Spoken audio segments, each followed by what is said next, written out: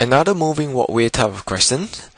Okay, a straight horizontal walkway moves at the speed of 2 meters per second in the direction from a fixed point x to a fixed point y.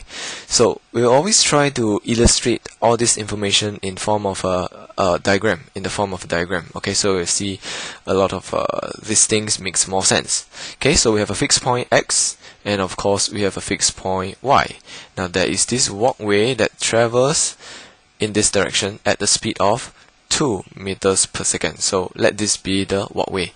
Now Amy walks from x to y on the moving walkway at a speed of 1.5 meters per second. So that here you go. At this point, we have Amy. Okay, Amy, right? Uh, she looks like she's in some kind of hurry, so she's moving at a speed of 1.5 meters per second on the walkway, which is moving at a speed of 2 meters per second. Alright, so so far this is the story.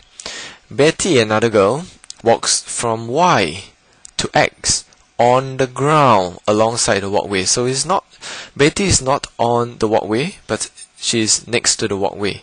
So here we have another girl, Betty. Okay, so she walks in the opposite direction. Therefore, her velocity shouldn't be 1.8 but it should be negative 1.8 meters per second okay so this is our girl Betty. This is our girl Amy. Alright so this is so far what the story is all about and uh, this is what we have been told so far. Find the velocity of Amy relative to Betty. So according to what we have um, talked about so far the velocity of Amy relative to Betty simply means it's the velocity of the Amy minus away the velocity of Betty. Okay, now the trouble with this is we have no idea what the velocity of Amy is. Now, please do not think that velocity of Amy is simply 1.5 meters per second as given in the question because Amy is not actually traveling at uh, 1.5 meters per second because she herself is on the walkway that is moving her with an additional speed of 2 meters per second. Therefore, this 1.5 meters per second is no longer true. Okay, it's not her true speed. So the true speed of Amy is in fact 1.5 meters per second plus 2, which will give us 3.5 meters per second.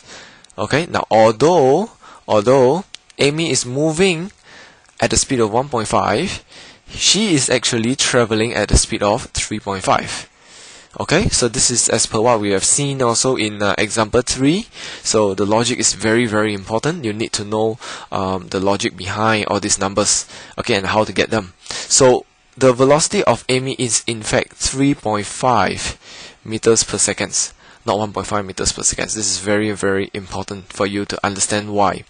Okay, so minus away the velocity of Betty. Now, Betty is more simple because um, Betty is simply on the ground, which is not moving. Thank God for that. But okay, she's on the ground.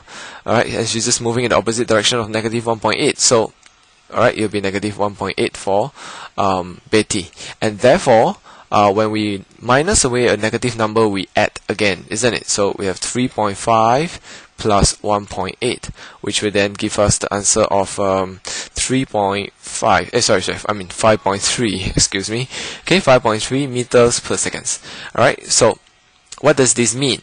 Alright, this number of um, 5.3 meters per second simply means that if you are Betty, you are seeing Amy moving in the positive direction, which means moving towards you at a speed of 5.3 meters per second.